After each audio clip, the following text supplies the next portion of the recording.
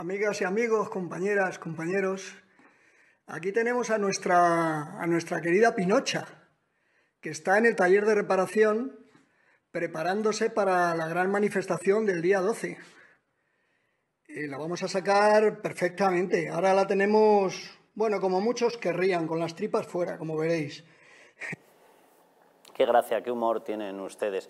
Bueno, han convocado esa manifestación, la segunda, la han realizado. Eh, veremos el resultado en las elecciones. De quienes la quieren ver más con las tripas fuera, mm, no sé, yo este tipo de lenguaje, la verdad que se lo dejo para este tipo de esperpentos.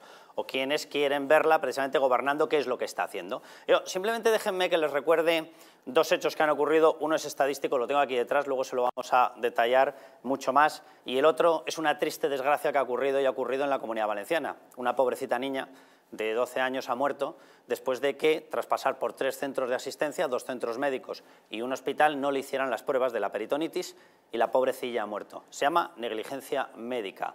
No saldrá de mi boca una acusación sin un solo fundamento, sin una sola prueba, sin un análisis médico diciendo Chimo Puig asesino. No saldrá. No lo van a escuchar ustedes nunca. ¿Por qué? Porque la negligencia médica existe. Es una tristísima desgracia y le mando todo mi abrazo con todo el cariño a la familia, pero no se pueden sacar determinadas comparaciones, no se pueden hacer determinadas acusaciones sin tener ni un solo dato. Pero aquí en Madrid se ha vuelto a llamar asesina Isabel Díaz Ayuso. Lo que están viendo es la radiografía de cómo está el sistema sanitario en Madrid. Esto que ven aquí abajo es la Comunidad de Madrid en cuanto a listas de espera. Todo lo que ven por encima en las tres principales disciplinas de listas de espera que se analizan es donde están el resto de comunidades autónomas. Aquí abajo, las que menos días hay que esperar. Aquí arriba, las que más. La comunidad valenciana, en algunas está más arriba, en otras está en el medio. Me da lo mismo. Una negligencia médica es una negligencia médica, pero háganse por un momento el ejercicio, hagan por un momento el ejercicio de pensar si esa niña hubiese muerto en la Comunidad de Madrid, ¿qué estaría pasando en estos momentos con la extrema izquierda, que es básicamente la izquierda? ¿Qué estaría pasando en las calles? ¿Qué estaría pasando con disturbios? ¿Cómo serían los insultos? ¿Y qué territorio tendría para salir corriendo Isabel Díaz Ayuso? Porque no le dejarían ni respirar. La palabra asesina se convertiría en totalmente habitual, pero ahí resulta que estos que se llaman médicos, que van a esas manifestaciones, por cierto, plagadas de políticos y con escaso volumen de médicos, lo digo básicamente porque la representación que está teniendo en las últimas jornadas la huelga oscila entre el maravilloso, con toda la ironía, número de 40 o 50 personas. Voy a repetirlo, 40 o 50 personas haciendo huelga, tomando, tomando determinados centros médicos, llenándolos de pancartas, de sábanas colgando, entorpeciendo el desarrollo de los servicios médicos, bloqueando centros de asistencia y, por lo tanto, fastidiando esa asistencia médica. Y lo voy a dejar ahí porque repito que no quiero ir a más. Pero eso es lo que está ocurriendo en Madrid cuando nuestra sanidad está aquí. Hay un indicador europeo, se llama Indicador de Competitividad Europea. Es el que evalúa todos los sistemas sanitarios por regiones en toda la Unión Europea. Primera posición, Estocolmo, 100 puntos sobre 100. 100 sobre 100. Segunda posición, Comunidad de Madrid, 99,6 sobre 100. 99,6 sobre 100. Luego todo el resto. ¿De España? De España y de la Comunidad Europea, de la Unión Europea. Todo el resto. Pero Isabel Díaz Ayuso es asesina.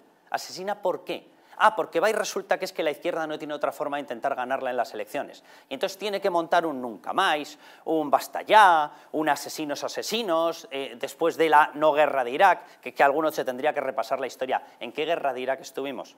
¿En qué guerra de Irak estuvimos? Cuando fuimos después de la guerra y con un buque de aprovisionamiento y un buque petrolero. ¿A qué guerra vas con eso? Pero da lo mismo. Para ellos la realidad es una cosa que se puede orillar y tirarla a la basura, da lo mismo. La cuestión es insultar a cualquier persona que no piense como ellos. Miren, ni Chimo Puig pasa a ser asesino porque se le muere una persona pobrecita, ni desde luego Isabel Díaz Ayuso teniendo la mejor sanidad de toda España y la segunda mejor sanidad de toda Europa pasa a ser asesina de nada. Si les fastidia, señores de la izquierda, que hay una persona que les gana con argumentos, lo siento muchísimo, bendito sea. Si no tienen ustedes un candidato que echarse a la cara, que sea capaz de ganarla, se llama democracia. Mejoran ustedes con sus propuestas. Y cuando sean capaces de venir a la Comunidad de Madrid y plantear una propuesta que no sea subir impuestos, expulsar empresas, atacar a los empresarios, permitir que los ocupas campen a sus anchas, permitir que haya manteros por todas partes. Cuando tengan otra opción, a lo mejor va y resulta que les votamos. Y si no, repito, se llama democracia. Asuman las reglas de la democracia y dejen de hacer, para empezar, el ridículo. Aquí no hay ningún asesino. Asesinos son los de ETA que va a dar la casualidad de que los está soltando y escarcelando con ayuda de esos partidos de izquierdas. Porque lleva ya más de 30 asesinos etarras escarcelados porque el señor Pedro Sánchez ha decidido, sí, el de que te vote Chapote, porque Chapote, asesino de Miguel Ángel Blanco, ha sido acercado. ¿Por quién? Anda, va y resulta que por Pedro Sánchez. ¿Y qué ha hecho además? Darle la competencia penitenciaria aquí en el País Vasco para que los pueda ir soltando. Esos son asesinos. Esos son asesinos. Aquí no hay más asesinos. A partir de ahí, ¿quieren ganar en las elecciones? Hagan algo que no sea destrozar España. Hagan algo que no sea multiplicar por tres. Del 40% de deuda sobre PIB que teníamos en el año 2006-2007, hemos pasado al 120%. Estamos literalmente arruinados. Decían que iba a haber un escudo social. ¿Dónde está el escudo social? Los precios más caros que nunca, el gas más caro que nunca, la electricidad más cara que nunca y la asistencia a las familias vulnerables más baja que nunca. Han sido capaces hasta de engañar a los pensionistas. Les dijeron les vamos a actualizar con el 8,5% de la inflación.